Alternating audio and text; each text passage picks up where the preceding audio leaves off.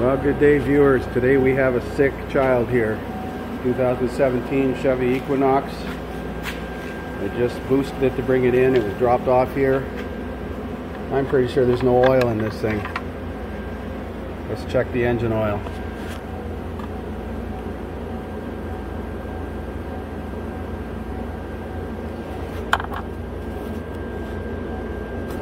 Says change engine oil on the dash drier than a popcorn fart. Okay, well, we're going to put some oil in it and start it up because it's rattling like crazy. Wonder when the last oil change was done. So I put two liters in already and it's still not showing on the dipstick, but I noticed when I was putting oil in it, look at the smoke come out of the dipstick tube. I think it's got a spun rod bearing or main bearing or something because it didn't sound too healthy. So that's four liters now I put in it. Unless it leaked out all of a sudden.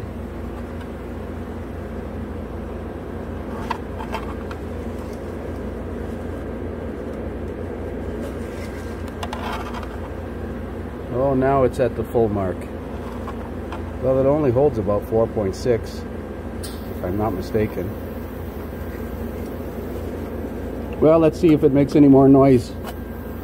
Let's start this thing up and see what it sounds like. Oh, it's funny how oil makes things quiet down.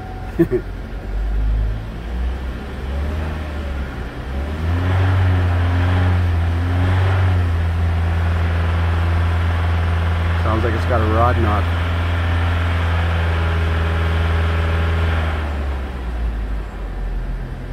funny the check engine light's not on. Next oil change is due at 122,000 according to Mr. Lube sticker. And let's see, what's it got on it? Where's the trip odometer button? Uh, menu. Change oil soon. It's got 130, so it was due at 122, so that's they normally put 5,000 kilometers, so that's 122, that's 8,000 over. About 13,000 kilometers since the last oil change.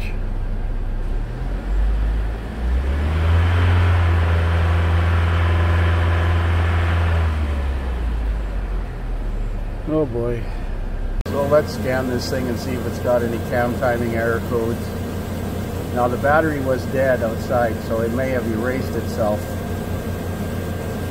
Actually, I'll do a network code scan and see what comes up. It's actually idling pretty quiet, but it does sound like it's got a bottom end rumble when you rev it up. Intake cam position, exhaust cam position, exhaust camshaft position, system performance, transponder modulations, all door locks, switches, sunroof position, tire pressure sensors, global positioning system. Well, the bad codes are the cam timing codes, and those are likely due to loss of oil pressure. So we're going to do an oil change on this thing, change the oil and filter and see if it'll live. But that can't have been good for it. So we're back working on this uh, Equinox this morning. And I think we found where the oil went. Likely the PCV system froze up and it's blown the oil seal out of the back. You can see the oil is undercoated the entire vehicle all the way to the back. Oh boy. But I started it up this morning and it's got a knock in it, so they ran it out of oil and done some catastrophic damage to the engine, unfortunately. 130,000 kilometers. Let's start it up and listen to it. I'm to start this thing up.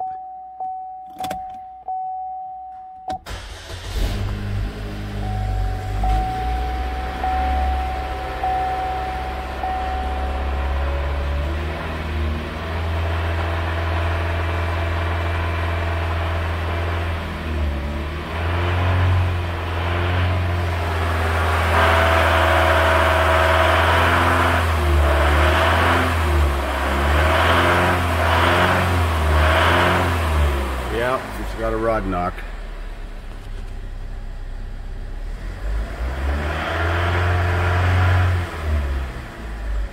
No point changing the oil, that's not going to help. Not unless I put 2050 in it.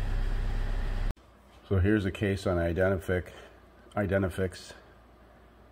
There's a bulletin for the uh, oil leak from the rear of the engine. Dri extended driving at cold temperatures below zero, which we've had. The PCV orifice, which is under the intake manifold or part of the intake manifold, freezes. Is this the one here? My comment, yeah. See the seal, the oil seal will blow at the back of the crank.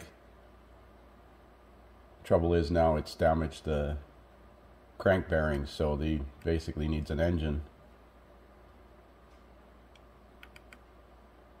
Verify proper thermostat operation, remove the cam cover, inspect the PCV baffle inside, replace the cam. Obvious sludge buildup is clean. Any ice sludge, there was ice on the oil filler cap when I took it off yesterday. PCV nipple on the cam cover, the PCV orifice between 2 and 3 intake port runners. Use a 1 16th inch drill bit as instructed below to make it bigger, I suppose. Hmm. That's the PCV orifice in the freaking intake manifold. So you got to pull the intake off to clean that. And there's the passage. There's no way to inspect that without taking the intake off. I wonder if there's any kind of policy adjustment on this thing for this problem. I mean, it's not like they didn't know this was a concern.